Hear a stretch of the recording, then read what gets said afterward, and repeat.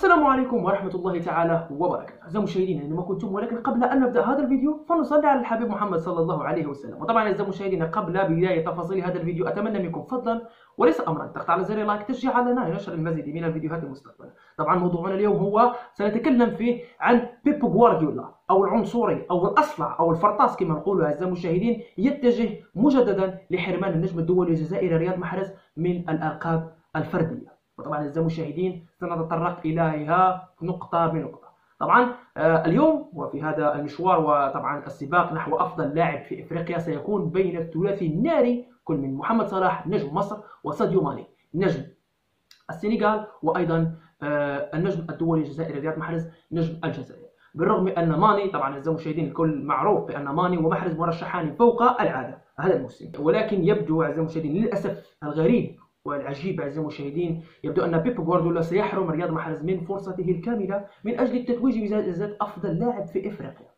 يعني التهميش الذي يتعرض له النجم الدولي رياض محرز في نادي مانشستر سيتي سيمنعه بالتتويج بهذا اللقب الفردي، لا أتكلم عن الجماعي بل أتكلم عن الألقاب الفردية، ويعني الشيء الراجع والوحيد والأوحد هو فلسفة بيب غوارديولا يعني المزعجة التي أصبحت يعني تطبق فقط على رياض محرز، وطبعا اعزائي المشاهدين فالمدرب الإسباني وفلسفته الغريبة في التدريب وبنظام المداورة التي دائما ما تجلس رياض محرز في الدكة يجعل منافسة محرز لماني أمر صعب للغاية. وهذا ما رأيناه وهذا ما سنراه. ونتمنى ما نشوفوش أعزائي المشاهدين. وطبعا من المعروف أن رياض محرز أنه كل من يشارك بصفة في المباريات بصفة أساسية ومتتالية يعني مستواه يبقى في تصاعد مستمر وهذا دائما ما أكرره في جميع الفيديوهات. وهذا يعني ما حدث في كأس أمم أفريقيا الأخيرة والتي يعني قدم مستوى خارق للعادة.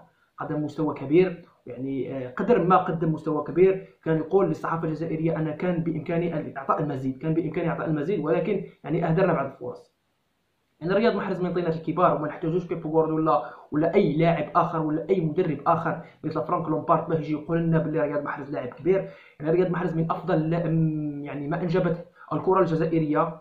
يعني هذا شيء مفروغ منه ويعني ليس فقط هو بل هنالك العديد من اللاعبين ولكن أفضلهم هو النجم الدولي رياض محرز.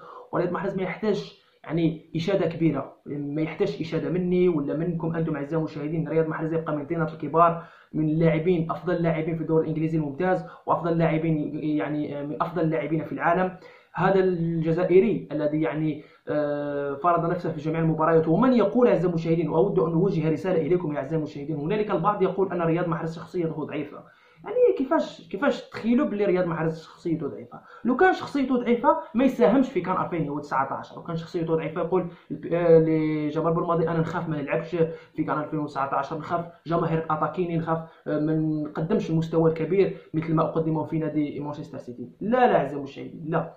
أنا لا أتوافق معكم في هذه النقطة. ضعيف الشخصية هو بيب غوارديولا الذين يتحكمون فيه لاعبيه. يعني كي شافوه ما يمرروش لرياض محرز قرر ابعاد رياض محرز من المجموعة ويعني إشراك المجموعة. يعني شكون هو الآن اعزائي المشاهدين؟ يعني ضعيف الشخصية. الضعيف الشخصية اعزائي المشاهدين مليون بالمئة. ستكتبونه في التعليقات رغما عنكم أنه بيب غوارديولا هو الذي ضعيف الشخصية. ورياض محرز هو الذي يعني شخصيته كبيرة وطبعا أعتقد أن الجميع متفق في هذه النقطة. طبعا أعزائي المشاهدين كان هذا الفيديو اليوم ما رأيكم حول هذا الفيديو؟ واكتبوا لي من هو يعني الرجل الحقيقي الذي آه، ضعف الشخصية في التعليقات طبعا أعزائي المشاهدين كان هذا الفيديو اليوم لا تنسوا دعمنا بلايك اشتراك في القناة تفعيل زر التنبيهات ولنلتقي في فيديوهات جديدة إن شاء الله. في رعاية الله.